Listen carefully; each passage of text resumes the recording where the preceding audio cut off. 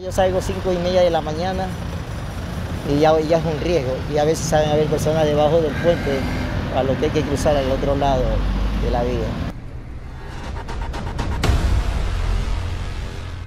Son los hacheros que jalaron los cables y levantaron las tapas ahí y se llevaron, se llevaron los cables de, los, de las luces, de las luminarias. Porque todo esto no tiene luz tampoco. Pero la noche es oscuro, todo, todo el área de los puentes. No hay iluminación.